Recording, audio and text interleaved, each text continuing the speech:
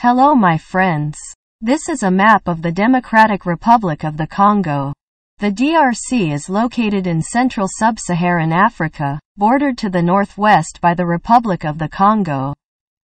To the north by the Central African Republic, to the northeast by South Sudan, to the east by Uganda, Rwanda and Burundi, and by Tanzania, across Lake Tanganyika. To the south and southeast by Zambia, to the southwest by Angola, and to the west by the South Atlantic Ocean and the Cabinda Province exclave of Angola. It straddles the equator, with one-third to the north and two-thirds to the south. With an area of 2,345,408 square kilometers, it is the second largest country in Africa by area, after Algeria. As a result of its equatorial location, the DRC experiences high precipitation and has the highest frequency of thunderstorms in the world. The annual rainfall can total upwards of 2,000 millimeters in some places, and the area sustains the Congo rainforest, the second largest rainforest in the world after the Amazon rainforest.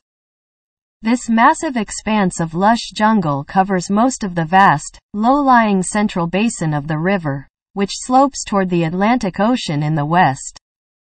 This area is surrounded by plateaus merging into savannas in the south and southwest, by mountainous terraces in the west, and dense grasslands extending beyond the Congo River in the north. The glaciated Ruwenzori Mountains are found in the extreme eastern region, the tropical climate produced the Congo River system which dominates the region topographically along with the rainforest it flows through. The Congo Basin occupies nearly the entire country in an area of nearly 1 million square kilometers.